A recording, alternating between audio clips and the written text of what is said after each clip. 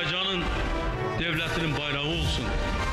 Her bir evde ve her bir aile gerek Azerbaycan bayrağına itaat etsin. Bizim bayrağımız bizim gurur mənbəyimizdir.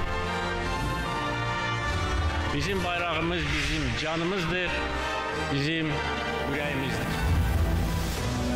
Noyabrın 8'inde Şuşa'da uzun fasileden sonra Azerbaycan bayrağı kaldırılmıştır. Bakıda möhtəşəm dövlət bayrağı meydanın açılanda mən çıxış edərkən demişdim ki, gün gələcək və Azərbaycan bayrağı işğal edilmiş torpaqlarda o cümlədən Şuşada qaldırılacaq. Və bu gün gəldi. Biz gəlmişik bura qalib kimi. Bayrağı da kaldırmışım. Bütün azad edilmiş torpaqlarda Azərbaycan bayrağı dalgalanır.